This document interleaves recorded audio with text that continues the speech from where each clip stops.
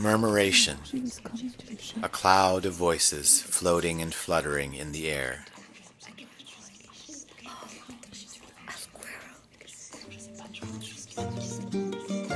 What follows are the moments in the lives of four characters.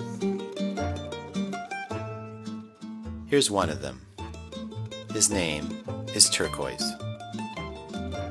And here are some of the parts that live inside of him.